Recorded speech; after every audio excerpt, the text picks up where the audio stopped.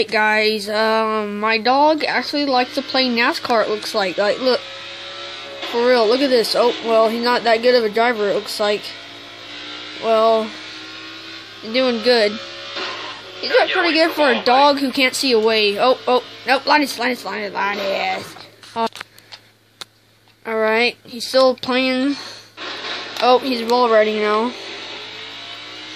He's coming on the front stretch, Texas. You're doing pretty good, Linus. Yeah, you're doing pretty good. As he comes down the front stretch. I is doing really good for a beginner. At NASCAR 15, right, Linus? Oh, he's not even. That's pretty cool. Alright, guys. Never before seen. Dog that plays NASCAR 15.